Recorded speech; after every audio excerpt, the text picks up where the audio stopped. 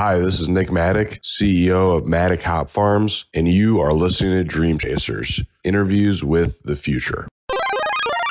Hey guys, this is Adam Carswell, and today I am joined by Matt Shamus. Matt is the co founder of Driven Capital Partners.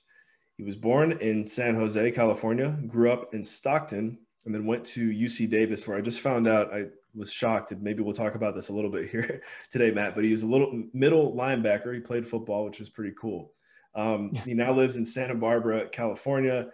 Matt, it's been a long time coming. Um, got plenty of a plenty of good stories on the backstory. I'm sure we can get into. But first, how you doing today? Say hello to our, our fans and just drop a few opening remarks. Yeah, doing great, Adam. Thanks for having me. I'm looking forward to uh, chatting with you, and thanks for having me on. Happy to have you here. So yeah, Matt and I first got connected. Um, like you know, I, I always say this too. Like COVID makes everything seem either like it was just yesterday or it was like five years ago. And I'd say with Matt, it's more one of those things where it feels like five. We've known each other for a while, but when I lived in the uh, the Bay Area, probably I'm guessing were you living in? You're probably living in Stockton at the time. No, I was in. No, I was in Los Gatos. Oh, you were okay. Okay, cool. So um, we met through Michael Flight because I think you and Dan, who we recently had on Dream Chasers, your partner, um, you guys went to the summit at sea with the real estate guys. Is that right? We did. No, we didn't do the summit at sea. Um, we did, uh, but we did go to one of their event, like a weekend event. And Secrets we, of Successful uh, Syndication, maybe. Yes, that's right. Okay. And we met Michael there, and then you and I met, I think, also separately at a at another event in the Bay Area.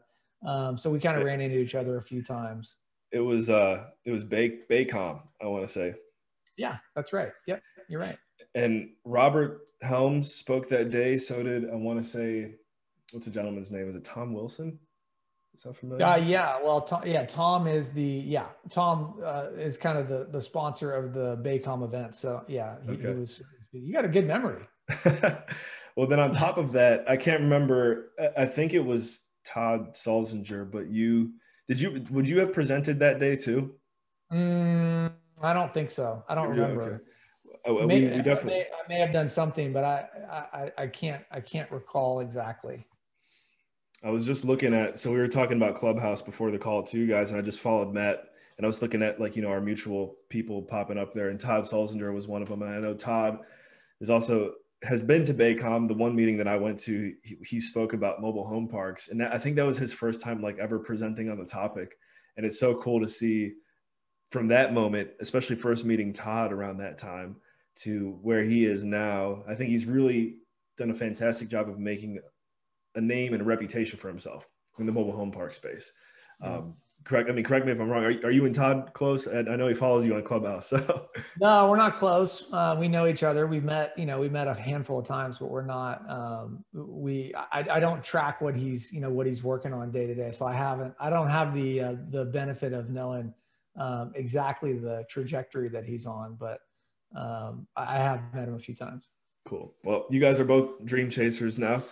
Um, and and yeah, before we get too far down this rabbit hole, we'll just say if you have no idea what we're talking about with Clubhouse, I would say just do a web search on it. It's kind of like the uh, you know the new cool hot app, which seems to have a lot of promise and upside and potential.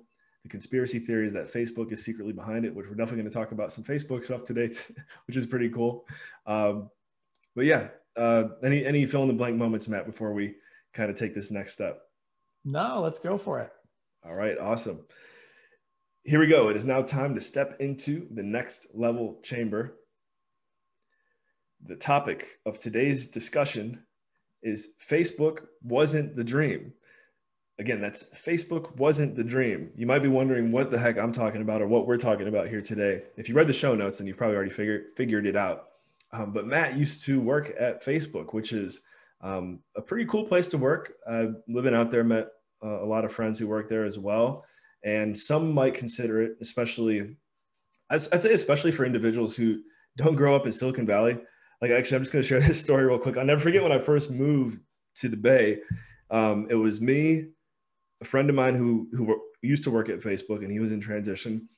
Two individuals from Google, someone who worked at Apple, I think someone who worked at like Silicon Valley Bank, and we're all sitting at this table having dinner. And I'm just looking around. I'm like, whoa, like if I was in Cleveland right now and there was a table with all these people working for these companies sitting somewhere, they would have like people running up to them asking for autographs. But here in Silicon Valley, it's just another day at the restaurant. and I just thought that was so funny. But um, so yeah, and, and I say that because you know, Facebook is definitely a company that's done a fantastic job making it clear to the world, like, hey, it's cool to work here. Um, but Matt was more passionate about other things, and we just kind of want to highlight how he went from this job that is, you know, probably envied by many and a, and a good job too, to doing what he enjoys doing even more, which is in the commercial real estate investing sector. So again, I know that was a lot, Matt. Before we get into any more questions, like any any thoughts or, or ideas, feelings coming to mind from that? Yeah, I mean, I think um, you know I had a great experience at Facebook. I worked at Facebook for six years, um, I went there originally to uh, build the, I was a team on a team of about 20 people. We built the original Facebook for iOS app. Um, so this was back in 2012 when Facebook had a, an HTML5 based app. And it was kind of becoming clear that uh, we needed a much better mobile first was kind of the the mantra of the company at that time and we needed to really invest really deeply and ios was the was the primary platform to do that uh, at the start. So i thought i would be there for like two years um, and that turned into six years. And i got a chance to work with some amazing talented uh, ambitious and really maybe the uh, maybe the misconception especially in the last couple of years because of the pr- predominant negative news cycle around Facebook. But um, one of the misconceptions is probably around the people uh, as employees at Facebook and their, um, uh, in my experience, people at Facebook are really mission driven. Uh, they want to do really good things in the world, and they uh, they're smart, talented, ambitious people. So I got a, a, chance to work with some some really really great uh, great folks, some impressive people. I learned a ton. Um, it just was, you know, I'm an entrepreneur. I, I like to go do my own thing. I like to, to build things. Um, I like to be in control of my own destiny. And uh, at some point, you know, if, if that is in your DNA, you realize that, uh, you know, or at least I realized that it, it, it, just wasn't my time at Facebook was, was, uh, was done and and I have great fond memories of, of my time there. I still have a lot of friends uh, who are there. We have a lot of investors who are Facebook employees, and um, and I think Facebook uh, is still a great place. It just for me as a career, it was time for me to go do something else. Sure, sure. And the seed for you to kind of make the the entrepreneurial transition, especially into real estate, was kind of planted at a young age, from what I recall. Hearing your story, I think you have you you know you had some family members or someone who was kind of already in the space. And that's is that kind of what gave you the idea in the first place to think like oh i might want to go this direction with my career one day? Well i was always a real really strong kind of self-directed individual even as a kid. Um, i always had a I, I, never was able to accept authority um, in the just for the sake of uh, an authority figure telling me something. Um, I always like to challenge things and understand them critically for myself. Um, that doesn't lend itself. That kind of mentality doesn't necessarily lend itself to a corporate or like highly structured environment. So I was always um, I always lean towards more entrepreneurial kind of endeavors. I got my real estate license when I was 20. Um, when I was in school, I thought I was going to go into commercial real estate. And so I had an internship with uh, CBRE and uh, just really didn't like it. Uh, I, I, think it was just a factor of, or a function of uh, maybe wrong team, wrong time, you know, just wasn't a great fit for me, but it kind of turned me off to uh, commercial real estate. So I went and did a couple years of investment banking um, where I learned uh, an incredible amount in a, in a very uh, compact time frame. And uh, that kind of provided a, a, a, really strong foundation for me just from a technical perspective and a finance uh, perspective. And then I went and founded um, two music tech companies and ended up selling those. And that's when I went to Facebook. So my Facebook uh, time was actually um, not necessarily it, it, was a bit of a departure from a previous entrepreneurial life. Um, and, and even when I was at Facebook, I started uh, at least one other company. I have to remember if there was if there were more than one.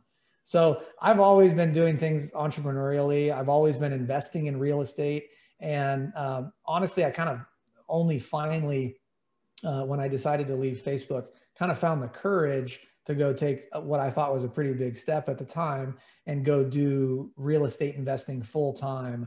Um, and so I, have always kind of had that entrepreneurial spirit and mindset, and um, and it, it just it just felt right for me to go to go move on and do things on my own. Sure. And what was that? You know, that transition phase is so key for so many individuals, especially in a time where I think entrepreneurship is you know, Russell Brunson will say it's finally cool again. I think for a while it was like, you want to do what? You want to start your own company? Are you crazy? Um, so during that transitional phase, like, did you ever have a moment where you hit any hurdles or you got scared? Because, you know, they, they might call it like the golden handcuffs, right? Like you got this ideal job, probably, you know, great benefits and, and everything.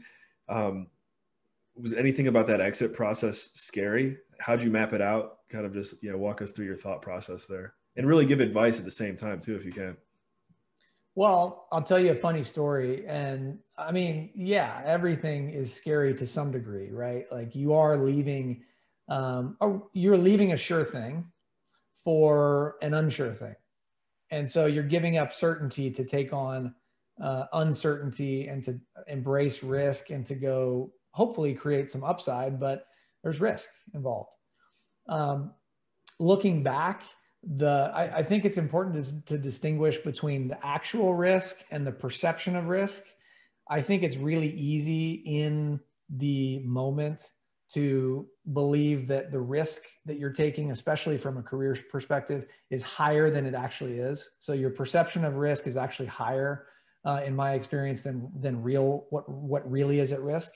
Um, and so I certainly agree. I certainly think back about my time um, you know, exiting Facebook the same way. I, I thought through the risks, and you know, at the end of the day, I didn't feel like they were actually that they were actually that high. Um, but I'll tell you a funny story about when when I left Facebook. There were two kind of distinct reactions from from people at Facebook uh, when I told them I was leaving. The first was probably more um, more more what you would expect uh, there were there were a good amount of people that basically their reaction in, in some form was, "What do you mean? How, how could you be leaving? Like this is the best. This is an amazing job. This is a dream job. You get paid well. You have unbelievable benefits. You work with smart people. You can have an amazing impact."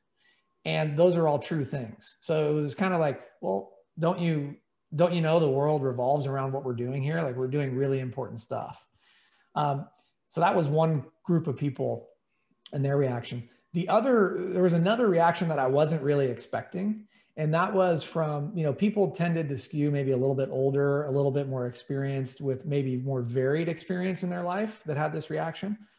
But the other reaction was, oh man, that is so amazing that you can go do that. Like, it's amazing that you are going to take that risk, that you have the courage, that you have the financial, um, you know, backing, wherewithal. Um, I wish I could go do that. I wish I had something that I could go do that was similar.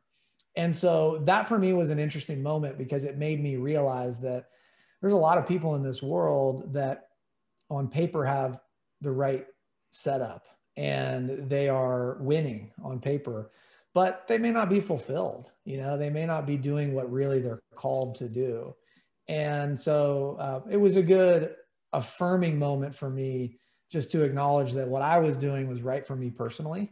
And, um, and uh, so I, I haven't looked back. Yeah. Yeah. Fantastic story and um, inspiring too. I mean, anyone out there, if you're, you know, thinking about making that jump, Matt's got a, a nice little framework here you can follow. We're going to keep, keep digging into it here too. Um, well, actually, yeah, real quick. I mean, if, if you kind of had to map out like a one, two, three, three step strategy, I know I'm putting you on the spot here, but like, you know, what are the three things that, that you would recommend someone do before making, making that jump? It doesn't have to be three also. I'm just throwing a number out there. well, don't make it don't make a decision like that yeah, emotionally i would say you know you need to you need to be analytic, analytical with your approach um, so you don't just want to leave a job because you had you got in an argument with a coworker or a boss um, take some time to you know go reflect on what you really really want i think one one positive thing about what uh, the environment covid has created for for people is it's forced people to really dig deep and ask questions that otherwise didn't come up in normal daily life. Like, what is really fulfilling to me? Do I really want to live here? Is this job really the right job for me? Um, and I think those are really important things to continuously ask yourself. So I wouldn't make an emotional decision. I guess that'd be number one. Um, number two would be um, probability weight the likely outcomes. You know, so one outcome is the two outcomes are not necessarily I have tremendous success or I fail dramatically. Like there's a lot of there's a lot in between that could happen. So if you could think about maybe two or three or four outcomes and weight the probability of those happening and be honest with yourself, it kind of help. That's an exercise I like to do to help me assess the risk that I'm taking. Um, so that might be that might be uh, you know the second thing that I would think about and I guess third would be, um, uh, you know, and again, this is just like off the top of my head here, but third would be, um, you know, if you're going to make a big move, you got to go do something you're passionate about and that you're excited about and that's fulfilling to you, especially if it's going to be entrepreneurial.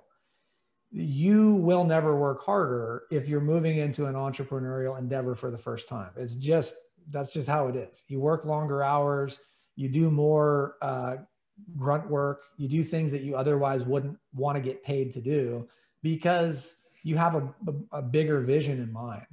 So uh, I would say you need to do something that you're excited about and passionate about. I wouldn't run away uh, from something. I would be much more excited about running towards something. Boom, there you go. I think we can probably turn that into a nice little 20 page ebook now. So thank you. three ways to, to leave your W two or three strategies. That's great. Thank you, Matt. Um, now, before we forget, I mean, DCP, Driven Capital Partners, is really what brought us here. Um, and what you guys are working on is fantastic. Want to just definitely get some, you know, marketing out there and, and let our listeners and viewers know what you and Dan are working on right now. As I mentioned, Dan Kennedy was recently on the show, guys. If you haven't heard his interview, go back. It's co- called From Professional Athletics to Professional Investing. Uh, Dan used to play in the MLS. A really good interview. Go check that out. But yeah, just run us through real quick. You know, I don't think we got to this part yet. What is who is DCP? What is DCP? Who you guys looking to do business with? Um, and yeah, we'll just say I guess the, the your investor uh, avatar too. Yeah, Driven Capital Partners um, is a boutique real estate private equity group. We go. Dan and I started the business to invest our own money in high quality real estate. So the problem is, um, you know, we don't typically have enough cash on hand to go buy the size uh, deal that we really want to own. So we buy a portion of it and we allow passive investors to participate um, in in the balance, and we are responsible for operating it and improving the property. And we go try to um, make people good money and, um, and, and try and do maybe some good along the way. So right now we're focusing on uh, building housing uh, in, in parts of the country where housing, uh, there's a housing crisis and where housing is desperately needed. Um, and we are also focused on industrial properties, largely in the Midwest, which are uh, consistent cash flow producing, uh, relatively low risk, stable investments uh, but offer still a really strong return profile. And so uh, we have investors that are professional athletes. Uh, we have a lot of, actually, more than you would imagine, real estate professionals that invest with us, brokers, uh, property managers, lenders, people that are in the real estate world. We have um, a fair amount of uh, my former colleagues at Facebook uh, and Google and Apple and other, other tech companies in the Bay Area. We have uh, just high net worth individuals who, uh, who, who want to place money in real estate. And then a really important component for us is our family and friends and kind of our extended personal networks um, of, you know, maybe one layer removed from our immediate network of, of family and friends. And we we we have great investment opportunities. And one of the one of the beautiful things about what we do is we have the opportunity to share them with people that otherwise would never have the chance to invest in a deal like like this. So um, that's something that I think is fulfilling for me and for Dan. Um, and so uh, so that's what we do. Thanks. Yeah. And, and anyone tuned in can go to drivencap.com to kind of check out your portfolio and um, can they create an account there? How does anyone kind of stay in touch with what you guys are working on? So that way, when you do have an opportunity, um, they could, you know, potentially invest with you guys. Yeah, you can join our email list. Um, you can request access to our investor portal. And then probably the most important thing is uh, schedule some time to chat with Dan or myself. And so we can just kind of get to know you um, and you can get to know us a bit and let's see if maybe there's a fit. But um, yeah, go to our website and there's there's a, a, few things that you can do there: email list, investor portal, and and schedule some time to talk with one of us. Cool. And quick two part question: One, is there any deals or projects that you're working on right now that you're super excited about compared to the other ones? and um, number two is, uh, you know, any immediate needs. You know, anyone who's listening to the to the Dream Chasers podcast, is there any way our community can serve you guys? I, I know we, we, were talking about deals earlier, so you know, if, if you wanted this podcast to line, land on the right ears, what are you looking for right now? Yeah, interesting. Um, so a project that we're working on right now that I'm excited about is actually Dan's uh, baby. It's a project in Santa Barbara. We bought uh, and I'll talk about taking a risk. Um, we bought an old, dilapidated office property, and we decided to turn it into 23 apartments, and um, which is much needed. It's in a great location in in the city, um, and it is. There's a housing crisis here. There's two percent vacancy. Uh, people don't have anywhere to live and there's nowhere else to build. Uh, all, all the land is pretty much all the land is developed. So there are really severe supply constraints. And so um, we decided to go take a stab at seeing if we could go build some housing. And uh, it's been, uh, it'd be an understatement to say that it's been a long and arduous process but we are about 80% done with our construction and we're going to get our certificate of occupancy and start leasing up in the next probably six weeks. And um, it's just been an amazing project. Dan has done a great job running the project from start to finish. Um, has spent an unbelievable amount of time and energy you know on the project and it's going to be one of those deals that we're going to look back on. I think we're going to be very proud of um, because of the uh, the the amount of growth uh, you know that, that we personally have experienced from start to finish. Also, the the positive we think that we're bringing to the city um, and to people's lives and the community. Um, and and it's also going to be profitable. You know, it's going to be very profitable. So um, that's a project that that I'm particularly excited about, and um, and and just um, I'm looking forward to when that gets completed in the next month or so, month or two. Love it, love it. And then yeah, any uh, any any needs? No, no. I I I want to come on and chat with you, and uh, you know, I appreciate you giving me a chance to um, you know to share what I'm doing with your community. Um, no, we don't have we don't have needs. We're always open to you know communicating with potential new investors and introducing what who we are and what we do. Um, you know, we like we like to work with people that are uh, you know like-minded and share the same value system and uh, and just aligned, you know, character-wise and and, and generally. Um, so we're always you know kind of looking for new investors, but um, you know we're not we're not out chasing people. We have great deals. We we love what we do. We we don't care to grow to to the moon. Uh, we want to continue to slowly grow our business so that we can uh, you know ha- have a lifestyle that we that we can be proud of and that we can enjoy. I have three young boys and uh, i want to spend more and more time with them as they get older and just have the flexibility to uh, you know be there for them and and and um, uh, so that that's kind of what what we're doing from a business perspective. Um, but uh, so i welcome the opportunity to speak with anyone that you know is interested in what we're doing but uh, no, I don't have any. I don't have any asks or needs. Thank you, thank you for giving me the chance, though. Absolutely, absolutely. Got to get it out there. All right, Matt. Well, time to wind it down. Um, real quick, the if you had to give out one way, one single best way for anyone following uh, or anyone to follow up and get in touch with you, what would that one way be? And could you give a shout out to someone you've never given a shout out to before? Uh, yeah, go to our website, drivencap.com, and uh, schedule a time there to speak with me on the phone. I, would like to, uh, I'd love to just have a chance to, to chat with anyone that's interested. Um, a shout out to someone, I have to give a shout out to my wife. Um, you know, I, it's not easy being a partner to an entrepreneur um, in so many ways. And that's actually another thing, maybe a fourth thing, or maybe the first thing. Uh, if I if I would have been clear headed, question. You don't have a supportive partner in what you're doing. An uphill battle. Um, if you're doing something entrepreneurial, you're that's going to be that's going to be overcome.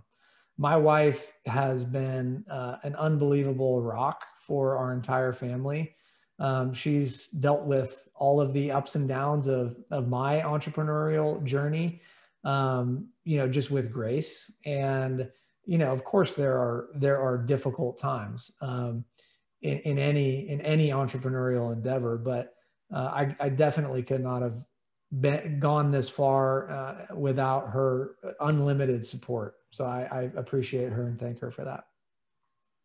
I love it. Love it. Thank you, Mrs. Shamus, for all of your support. Look at look at DCP now. you got. You got him here. Um, cool. Well, Matt, thank you so much one more time for uh, investing your most valuable resource with us here today, your time. Uh, any any parting words? No, thank you for having me. I appreciate it. Always enjoy getting a chance to speak with you, Adam. Absolutely. Same. All right, guys. Well, thank you for tuning in to Dream Chasers Interviews with the Future. We will catch you in the next episode. Remember, in all you think, say, and do, take it to the next level.